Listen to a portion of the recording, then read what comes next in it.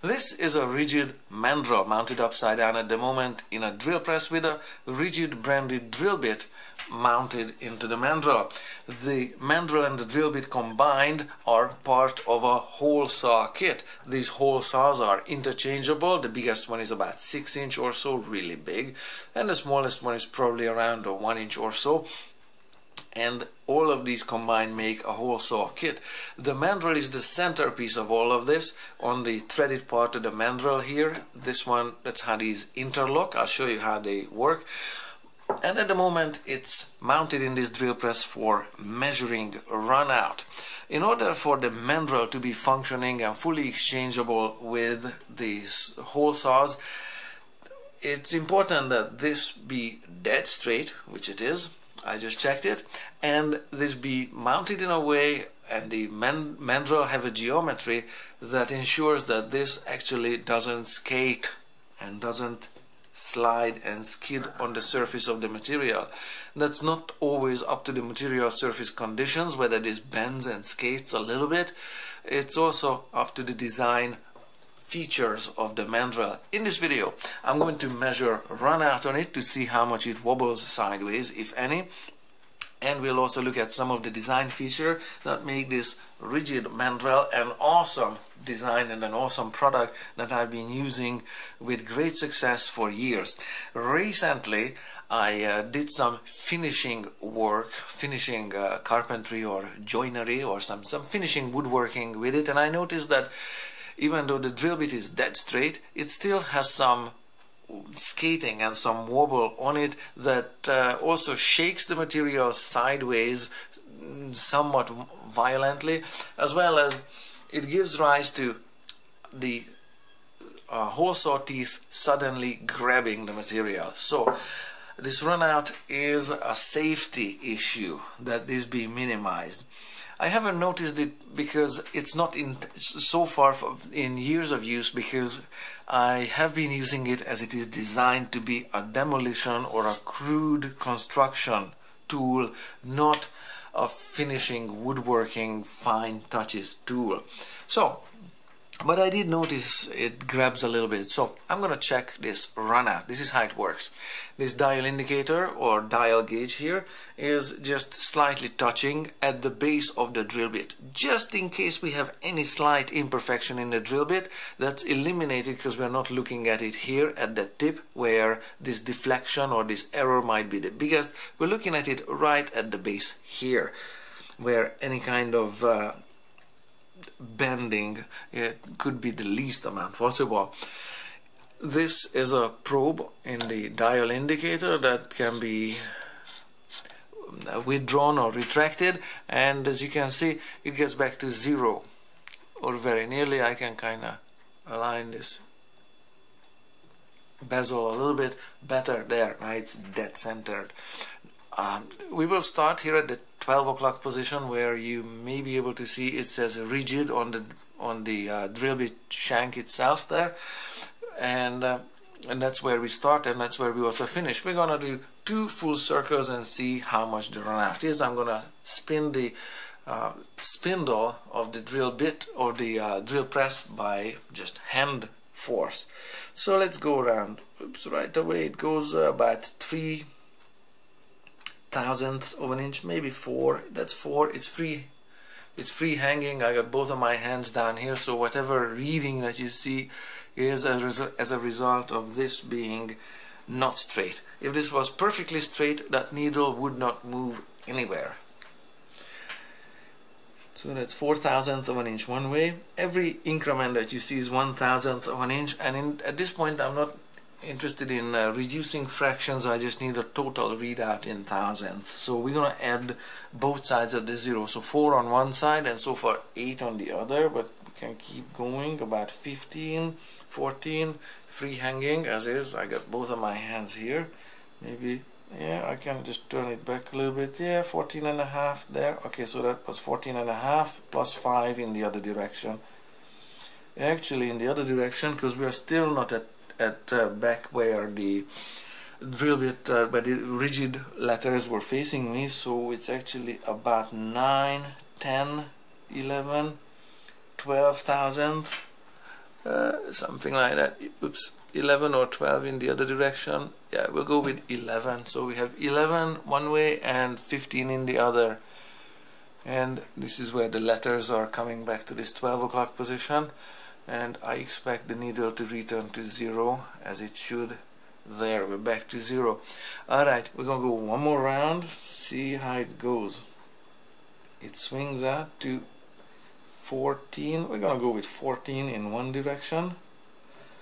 And 12 in the other direction. 14 plus 12 okay?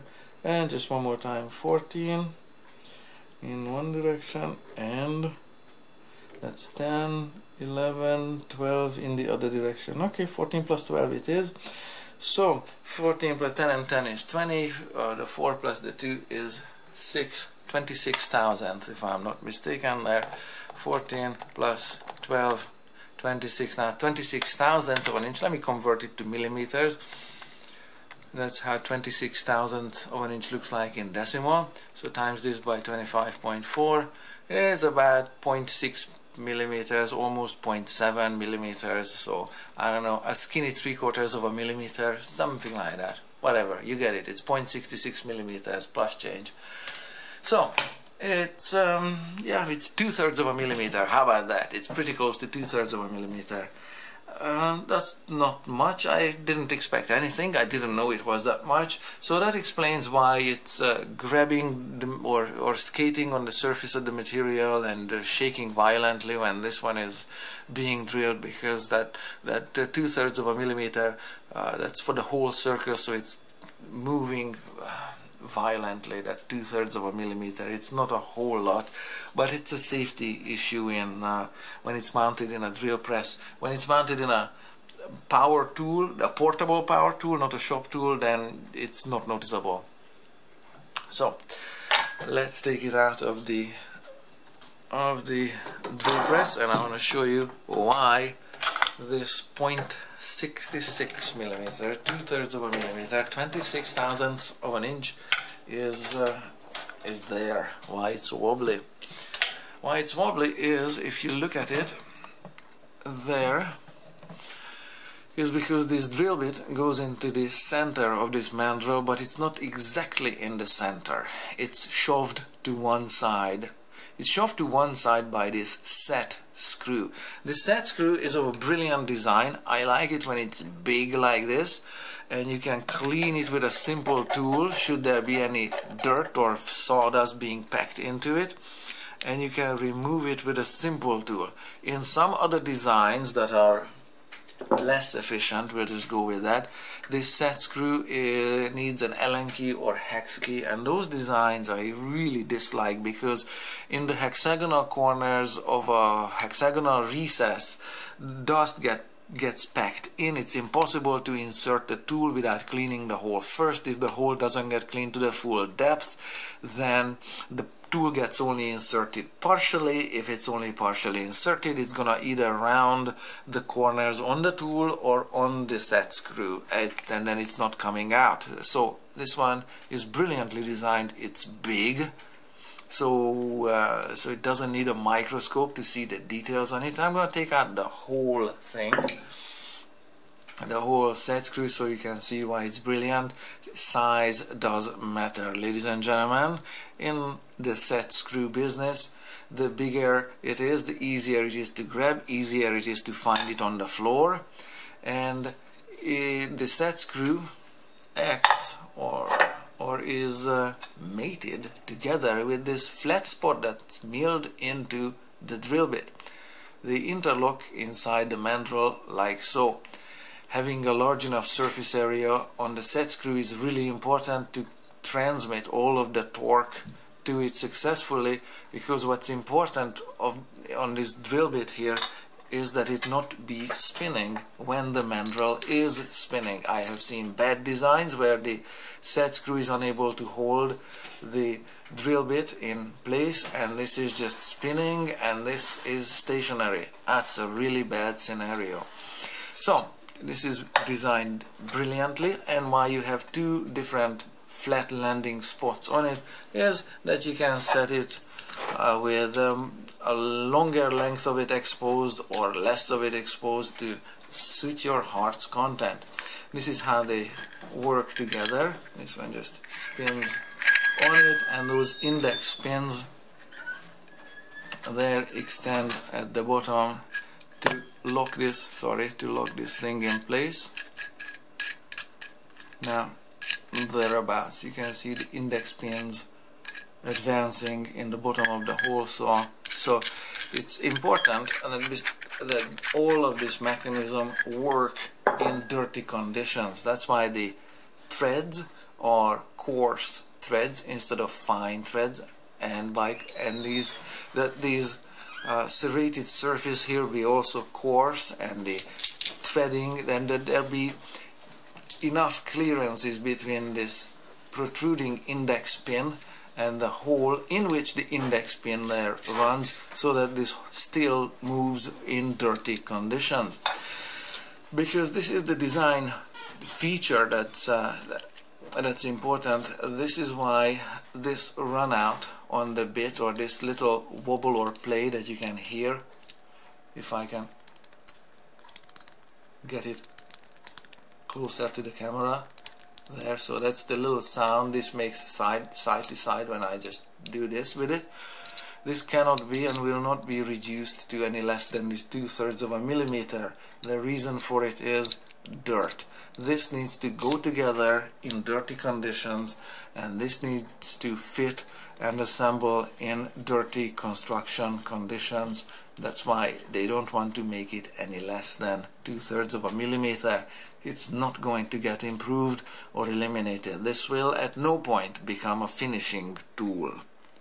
For finishing drilling work you should ideally be getting a large Forstner bit or a large say high-speed steel sawtooth bit where instead of removing a whole cookie which is this is a this is the cookie this plug. Some people call it a plug. I call it cookie because it looks like a cookie. So in this hole saw operation uh, this cookie waste product is uh, not turned into sawdust but in Forstner bits uh, where there are serrate or uh, or um, sawtooth bits uh, there is a center point machined into the drill bit and there are saw teeth here and everything in this area of a circle everything is turned into sawdust. Slow and tedious but very precisely made tools. These ones are fast and meant for butchering okay?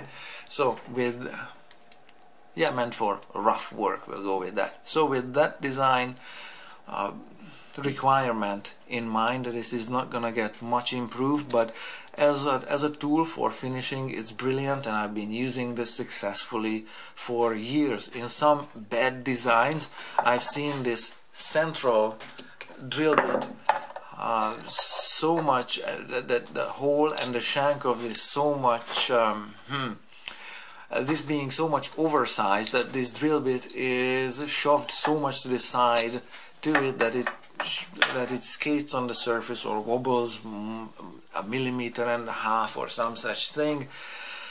Really really impractical even in coarse work or rough work as well. It's like I said it's skating and then it's and then it's grabbing the material suddenly. So it's uh, really an issue of safety that the mandrel and its matching drill bit be made with as much precision as possible yet still be able to assemble in in uh, rough conditions in dirty conditions. So I strongly recommend this Ridgid mandrel.